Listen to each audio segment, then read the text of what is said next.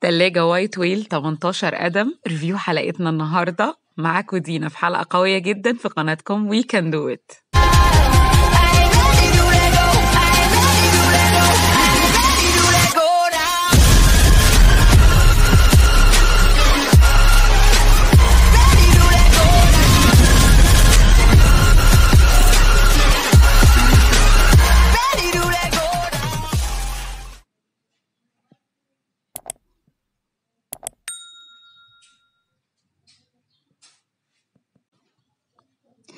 إيه ازيكم؟ عاملين إيه؟ معاكم النهارده دينا في حلقة جديدة و review قوي جدا ومنتج تقريبا مندثر ومحدش بيتكلم عنه كتير. فوجئت إن مفيش reviews كتير عنه خالص في الإنترنت.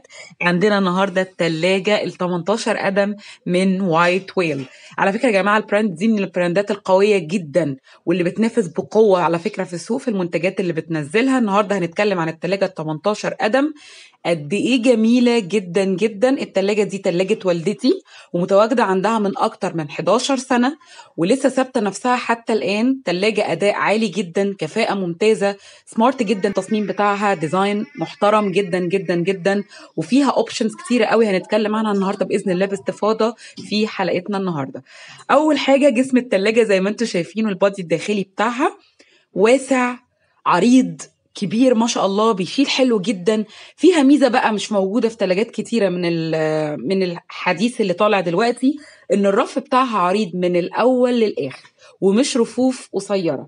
ودي ميزة أنا بعتبرها بصراحة أو شايفاها أفضل من الرفوف المقسومة.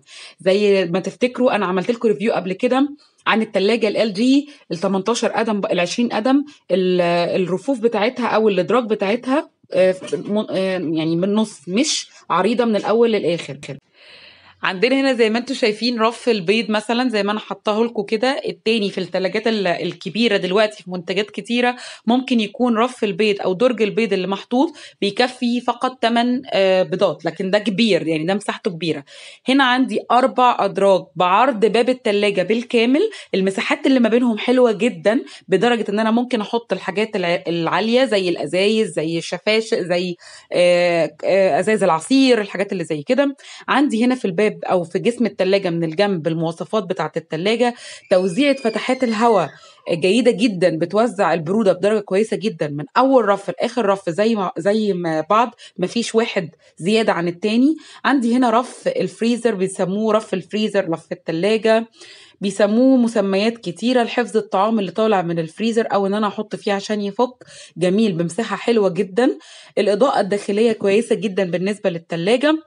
النوع الزجاج اللي مصنوع منه التلاجة أو الأرفف التلاجة زي أنواع الزجاج اللي مصنوع منها التلاجات الحديثة دلوقتي برغم إن التلاجة بقالها كتير في السوق إلا إنها كويسة جدا في الاستخدام آه سهل طبعا فكه وتركيبه ما فيهوش مشكلة خالص آه ده طبعا من الزجاج ده زي ال material بتاعه الثلاجه LG اللي كانت كنت أنا عاملة review عنها.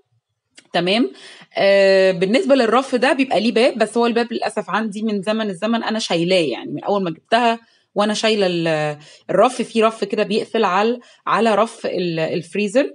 آه أنا بوريكم بالكاميرا من قريب وأنا بتكلم الخامة المستخدمة في الصناعة ودي بتفرق جدا معانا لأن في أرفف دلوقتي آه في ثلاجات غالية مش رخيصة بتبقى يعني مش مش مش قوية فبالتالي بتتكسر بسرعة. ده الدرج بتاع الحفظ الأطعمة اللي هو الخضروات والحاجات اللي زي كده طبعا عريض وكبير. بيشيل كمية كبيرة جدا. وفي نفس ال option اللي موجود في الثلاجه LG اللي هو بيخلي الحاجة بان أنا أشيل الرطوبة أو أخلي الهواء يدخل فبكتم الرطوبة خالص عن الخضروات بحيث إن الخضروات ما تكونش مية فوقيها بالتالي ما تعفنش أو ما تبصش بسرعة. تمام؟ شايفين؟ ده إضاءة زيادة في جسم التلاجة من الزرار الجانبي وفيها كمان اللوك بتاع الأطفال أو مفتاح الأطفال. ده الثرموستات الخاص بدرجة الحرارة بالنسبة للفريزر وبالنسبة للتلاجة الاتنين موجودين في جسم التلاجة اللي بالأسفل. وطبعا هنشوف الفريزر. طبعا ده بيتظبط على حسب الكتالوج على حسب الوقت بتاعنا على حسب الصيف أو الشتاء. إحنا بنحب ال... في ناس بتحب صيف شتاء الحاجة ما تبقاش ساقعة قوي عشان ما بيحبوش يطلعوها ساقعة قوي. فدي طبعا حرية شخصية. درجات الثرموستات عندي في البرودة من واحد لخمسة زي آه، تلاجات كتير برضو. يلا بينا نخش على الفريزر ونشوف بقى الفريزر عامل إزاي. فريزر رفين كبار في عمق الفريزر كويس جدا. السعة اللترية بتاعته حلوة قوي.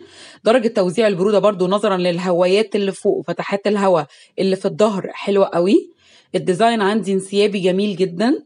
آه عندي برضو درجين بعرض زي ال freezers بقى موجودة في ثلاجات كتير الدرجين فقط. عندي في باب ال- الفريزر من فوق وعندي ال ice maker هنا. ده طبعا مش ice maker هو ده درج آه، للتلج لحفظ التلج اللي بيتكون من الأدراج الداخلية للتلاجة. وده برضو option موجود في التلاجة LG فأنا بع- يعني بحاول على قد ما أقدر اعقد لكم شايفين يعني أنا بدور كده البكره بتنزل مكعبات التلج بتتحفظ جوه الدرج.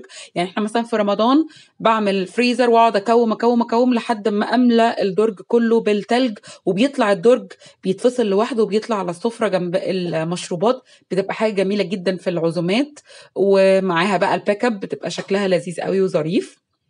أنا بحاول أوريكم كل حاجة من قريب. طبعا الرف الداخلي بتاع الفريزر من نفس الخامات المصنعة للتلاجة من تحت. في ناس بتعمل أو في بعض المنتجات بتبقى الارفف الخاصه بالفريزر غير الرف الأخير.